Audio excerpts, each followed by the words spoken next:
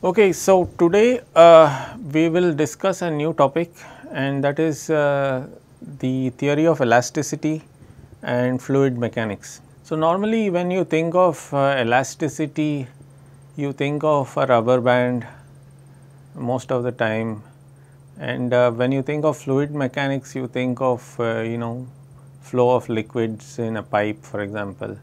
So, you might be wondering why I have clubbed them together and uh, discussing both in the same chapter. So, the reason is uh, there is a very good reason for that and that is that uh, uh both have the same uh, mathematical and conceptual underpinnings. So, they all come from the idea of stress and strain and how these bodies respond to uh, the applied stresses. So, basically the subject matter of elastic bodies and elasticity and fluid mechanics both involve understanding how objects uh, deform when uh, uh, stresses or forces are applied. So, I am going to read off this uh, description in the introductory uh, chapter here. So, this chapter deals with the description of elastic bodies. So, elasticity is a phenomenon wherein a body responds to external forces uh, not only by accelerating as a rigid body would have done, but by deforming. So, in other words it changes its shape or size or both. So, normally a rigid body, uh, well a rigid body by definition will not change its shape or size, but it will simply accelerate if you apply a force. But whereas elastic bodies, uh, they also change their shape and size. Elasticity and plasticity are similar but different in the sense that plastic deformation is one which is not uh, reversible. In other words, if you a plastic object will remain deformed even after you remove the forces uh, that you have applied which causes the deformation. So, we will of course not be studying plasticity in this uh, course. So, we are studying elasticity theory and fluid mechanics. Okay, so um, so a fluid is an elastic material that flows. So this means that uh, the material will suffer acceleration when you apply shear stresses. So these shear stresses are basically anisotropic stresses. So I'll have to precisely define what stress is. It's a kind of force. So which I'm going to do now. So that's basically the content of this uh, chapter. So it, it's a description of elastic bodies and uh, fluids and how they respond to various forces that are acting on them. Okay, so in order for us to proceed with the subject, we have to define the core concepts of the subject and the core concepts of the subject are basically stress and strain. Okay. So, uh, stress is nothing but uh, the force per unit area acting at some point on a chosen surface. So, you just imagine a surface so, you have to consider an imaginary surface, okay. So, it is just there in your mind. So, just uh, imagine that there is some surface in some deformable body. Then you choose a point on the surface and you ask yourself what are the forces acting on that uh, point. Okay, so there, so there will be uh, force a vector. A vector has three components because we are working in three dimensions, and those three components we conveniently choose to be uh, perpendicular to that imagined surface that we have considered and the uh, two other directions which are parallel to the uh, surface. That means that there is a tangent plane to the surface at that point you are interested in and that tangent plane will have uh, two independent direction because it is a two dimensional tangent plane and the normal to the surface is one specific direction.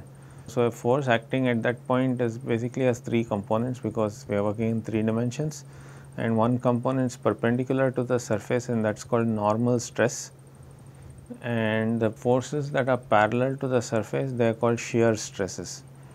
So, that is basically the point. So, an elastic body will now decide to uh, either deform or, or accelerate or both depending upon what the situation is. Okay. So, if it is a fluid it will typically accelerate, uh, it will always accelerate when shear stresses are applied, uh, but for uh, elastic solid it will deform.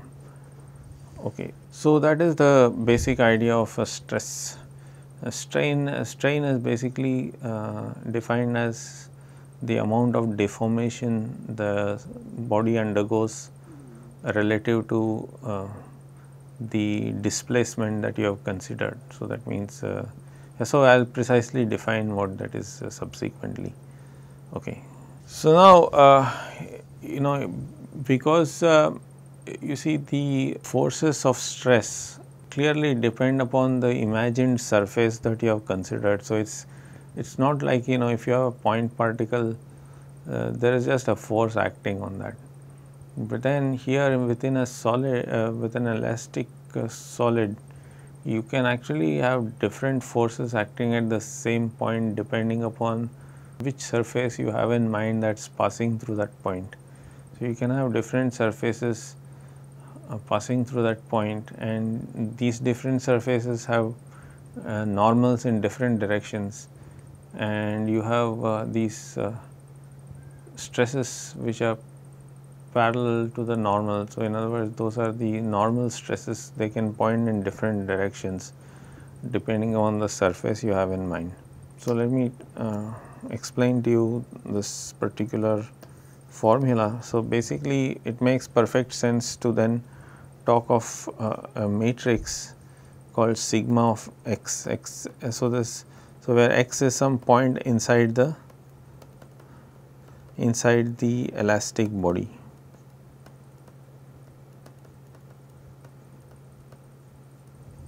So, this n hat is normal to the imagined surface. So, if you have an elastic body here, okay. So, what you do is uh, you imagine, uh, so you imagine a point called x inside it and you imagine some surface. Okay, so, uh, so let me consider this to be x. So, this is your imagined surface. So, this surface can be in any direction. So, that means this there is a normal to this surface called n hat.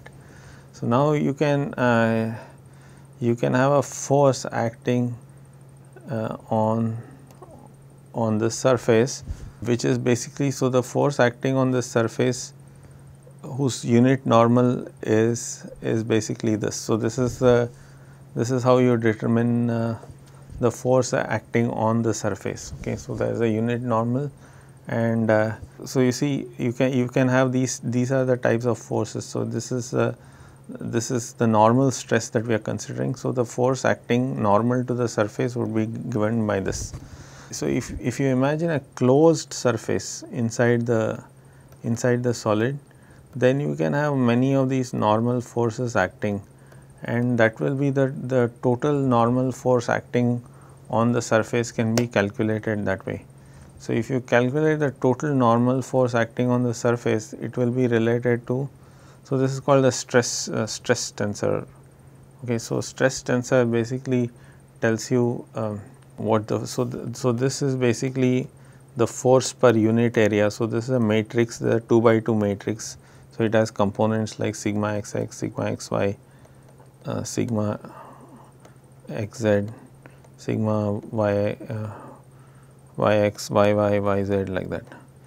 So, it has uh, 9 components and uh, you see this is a column matrix a unit vector. So, if you multiply these two you get another vector.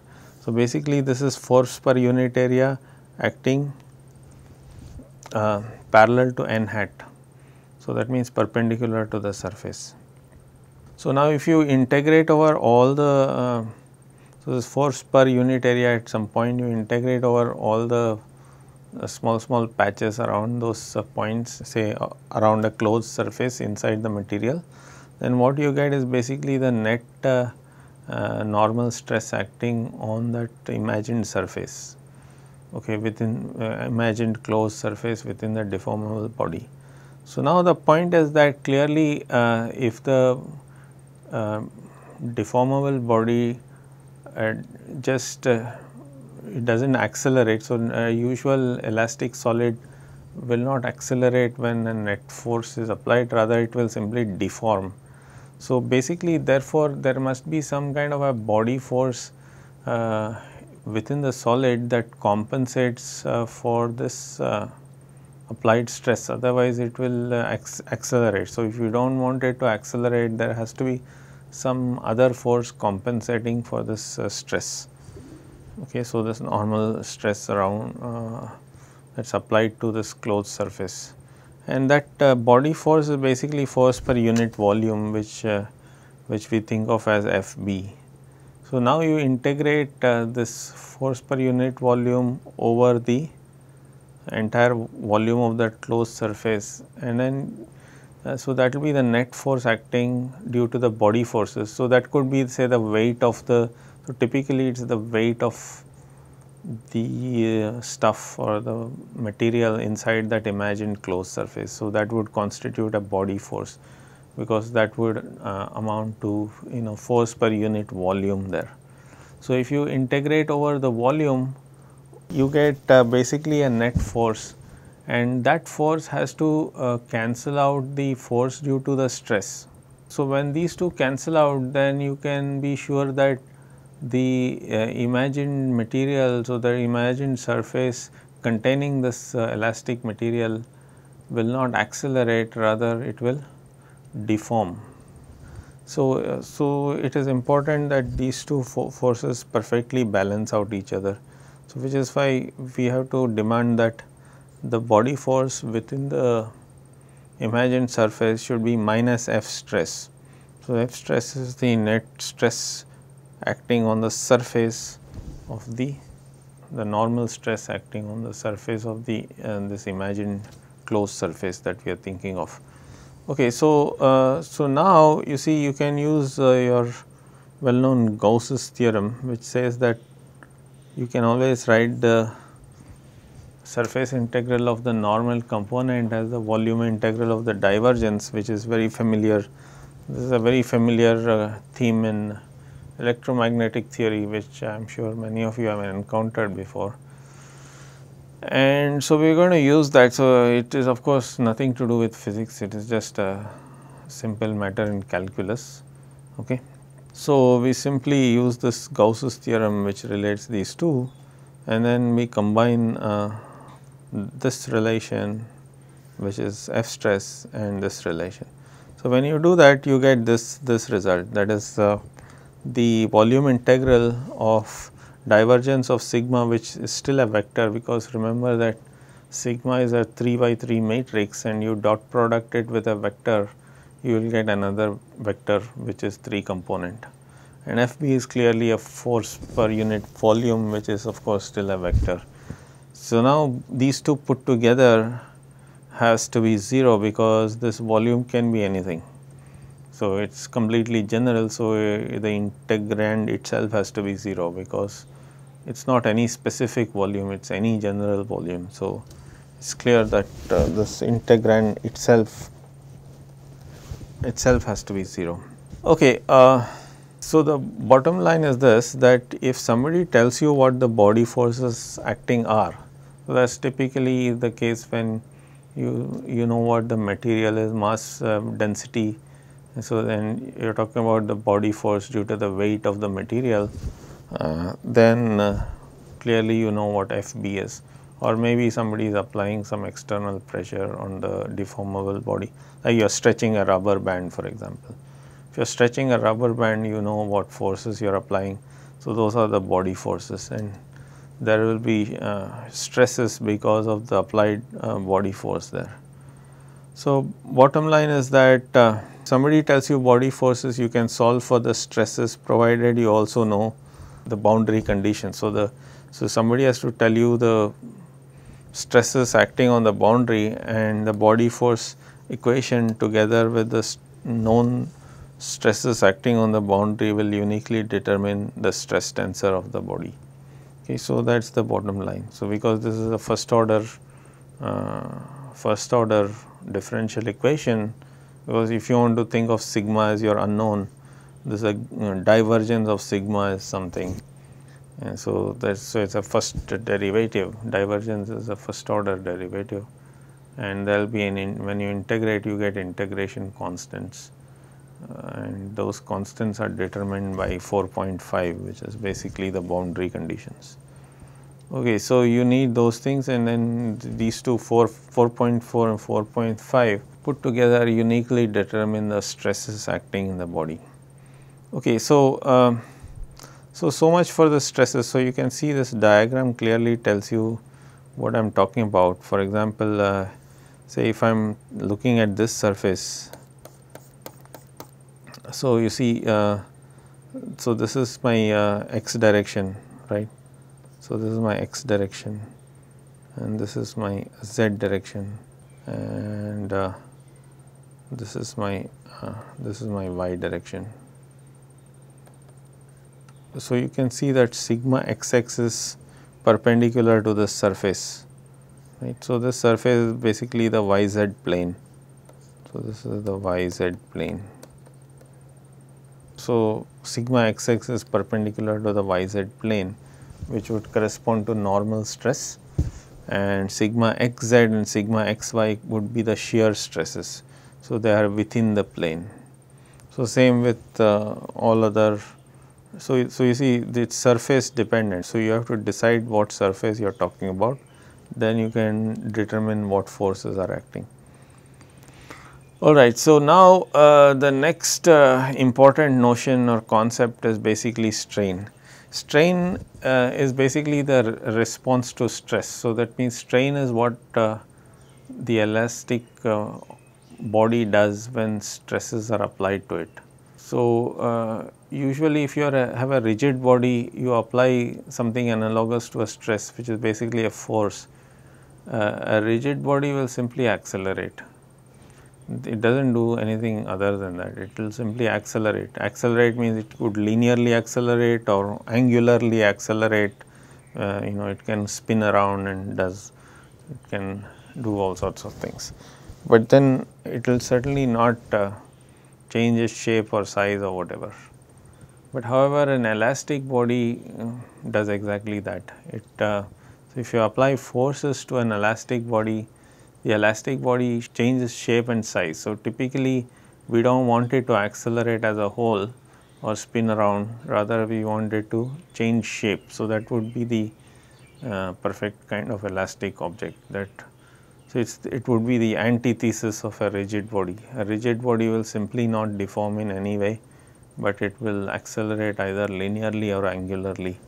But a perfectly elastic body would do the exact opposite that it will simply not accelerate in any way, but it will deform in whatever way you want it to deform. So, uh, so that deformation of an elastic body is described by a concept called strain. So, stress is what you apply, strain is the response. Okay, so, how do you describe uh, the response of an elastic object to stresses?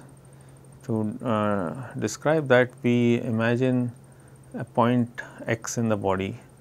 So, we have said that basically what, what the object does is or the body does is it deforms. So, what that means is that the point which was initially at x now shifts to a different location called x plus d. So, in other words there was a point x in, in the deformable object. So, uh, apply stress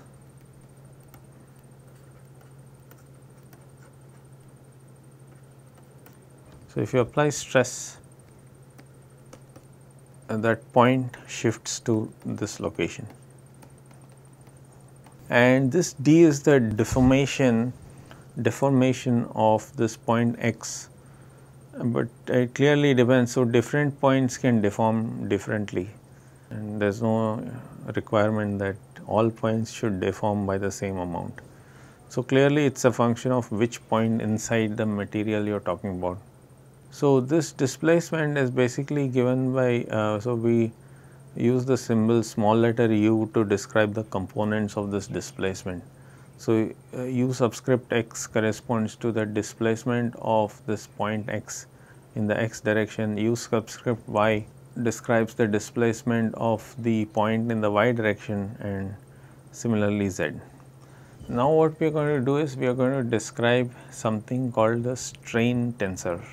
In other words just like stress was a 3 by 3 matrix because see what was uh, stress, it was uh, uh, described by something called sigma, but sigma had components like sigma zz sigma xz, sigma yz. So, what is sigma zz? It is basically the force acting per unit area at some point perpendicular to the yz uh, xy plane because it is sigma zz. So, it is parallel to the z axis. So, it is perpendicular to the y xy plane. So, the forces acting at that point perpendicular to the xy plane would would be sigma zz. So, similarly sigma xz would be perpendicular to the y axis. So, it will be parallel to the xy xz plane. Okay, so, uh, bottom line is that uh, it has uh, to be described by a matrix because the force acting depends upon the choice of the surface that you have in mind. So, as a result it is more than just a vector. So, it is a vector plus this choice of the surface that you have in mind. So, it becomes kind of vector in 3 different directions. So, it is therefore a 3 into 3 object, so which is a matrix or a tensor. So, similarly a strain also is a tensor for the same reason. You know a, a point can deform in the same direction in which you choose to move. So, if you shift your point from x to x plus dx, but don't, don't shift y and z. So, the point uh, look what, what I mean by that is that you, you have a point called x y z, you choose to uh, investigate uh, what is going on at the neighboring point. So, the neighboring point could be for example, x plus dx, but then y is still y and z is still z.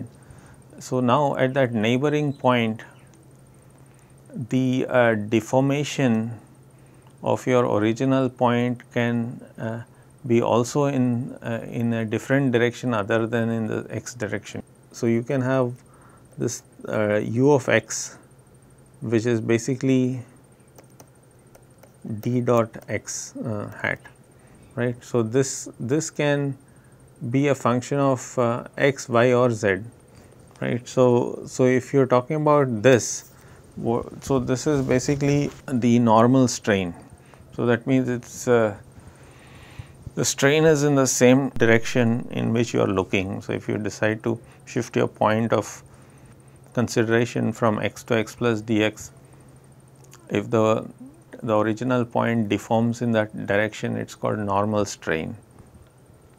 But it can also deform in the perpendicular directions and just like in shear st uh, stresses. So, you can have shear stress applied in perpendicular to a surface. So, here also you can have something in the same direction or in the perpendicular directions. So, the deformation in the perpendicular directions are basically called shear strains. So, you have uh, normal strains and shear strain. So, it is uh, convenient to uh, you know it is better to visualize this through a diagram like this. So, I think I should spend some time explaining this diagram this figure 4.2. So, what this is is basically it tells you that uh, there is a point here. So, this is the original situation this is before before strain means when this uh, when the uh, object has not uh, undergone strain.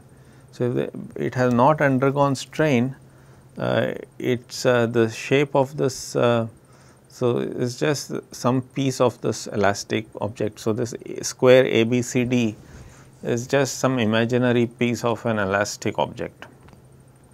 So, I am specifically considering say in two dimensions.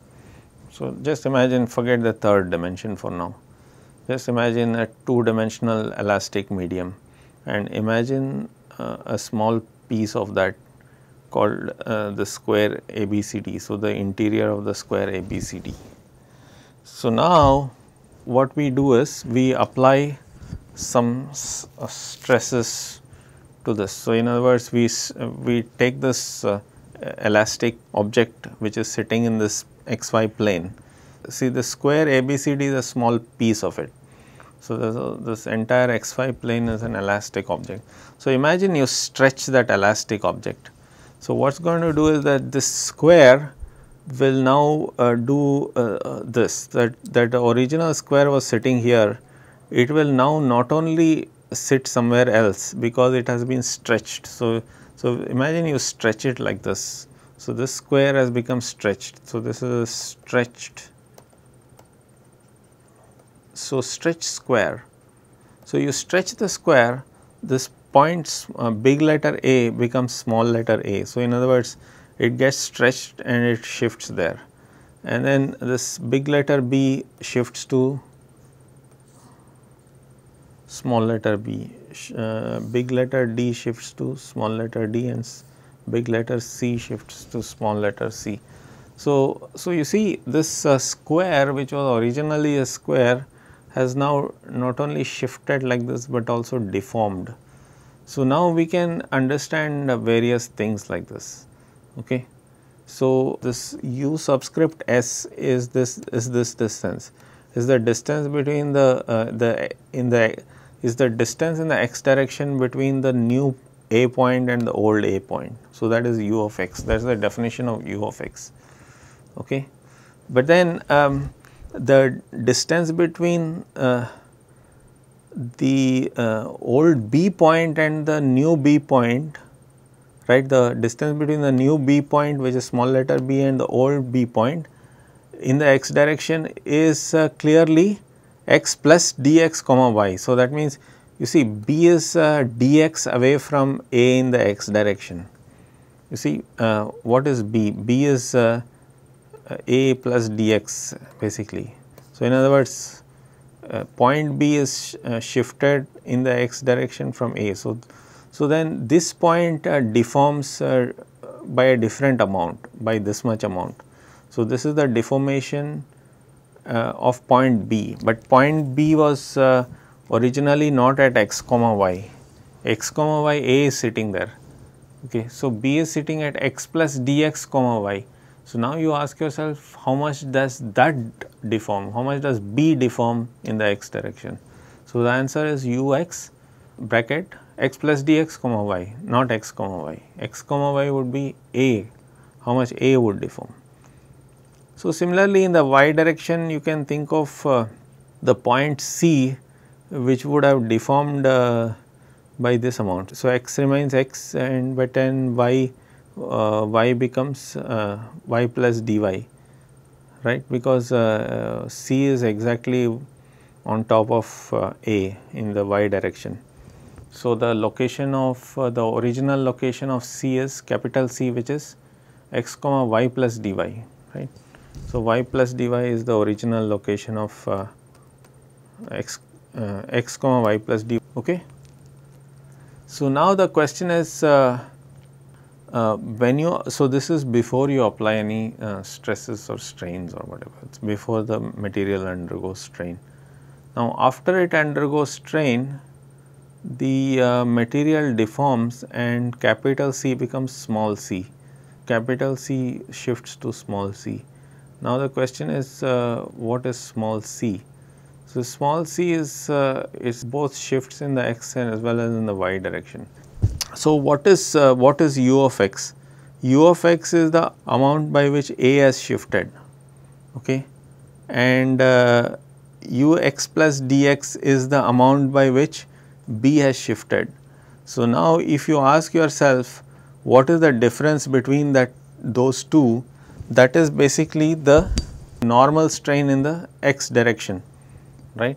So, you see it, it basically what the normal strain in the x direction it tells you is the amount by which the size of the square has changed. See the original uh, size of the square uh, was length of dx. So, now it has kind of uh, because it has got stretched the size of the square has now increased in the x direction by this amount. Okay. So, it has got increased by this amount. So, dux by dx into dx this much amount. So, original uh, size was dx. So, after stretching the size has increased by this amount. So, that is uh, so this this is this coefficient is basically called the fraction by which the size of the square has increased is called the normal stress in that particular direction. In, in this case, it is the x direction.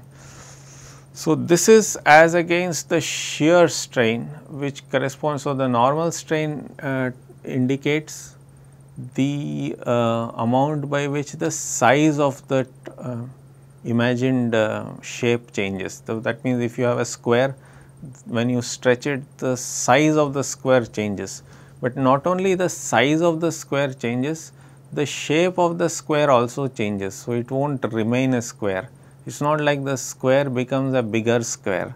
It could happen, but usually it not only becomes a bigger square when you stretch the material, it will also not remain a square, it will become something like this a trapezoid or parallelogram types.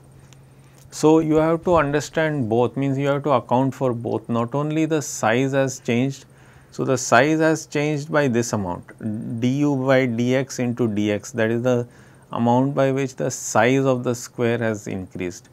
But then we also have to describe the amount by which the shape of the uh, square has changed. So, the to understand the shape of the square what you do is exactly you calculate uh, as epsilon xy for example. So, if you calculate epsilon xy that is uh, basically uh, dux by dy plus duy by dx one half of that. So, this is this is basically alpha plus beta. So, this epsilon xy uh, basically is called the shear strain. So, the shear strain is uh, is uh, so why is this the case because you see approximately you can uh, you can see what is happening this this distance so, this amount is approximately this much and this amount is dx. So, this distance this angle is uh, just uh, because the angles are small uh, tan theta equals uh, tan alpha is approximately alpha and what is tan alpha it is this divided by this okay. Uh, so, what is this? This is du uh, du y by dx. So, this is du y by dx into dx okay. So, uh, so this divided by dx is this angle. So, this tan, tan of this angle, this is uh, this divided by dx.